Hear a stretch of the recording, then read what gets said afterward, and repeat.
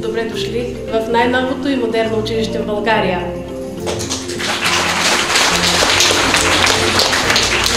Добър ден на всички и на всички дечица. С удоволствие искам да кажа здравейте!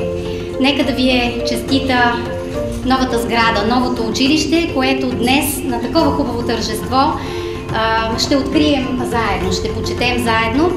И то не на какъв да е ден, а днес на 11 май, деня на Кирил и Методий.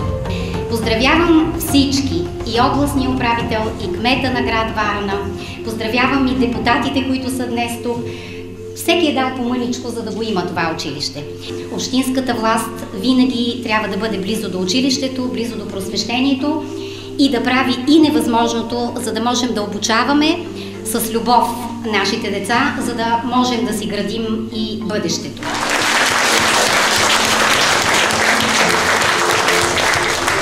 Една идилична сграда на старо българско училище дало път в живота на десетки поколения. Става ми дори тъжно. Но даваме се сметка също така, че старото трябва да отстъпи път на ново. Бъдете живи и здрави и на добър час!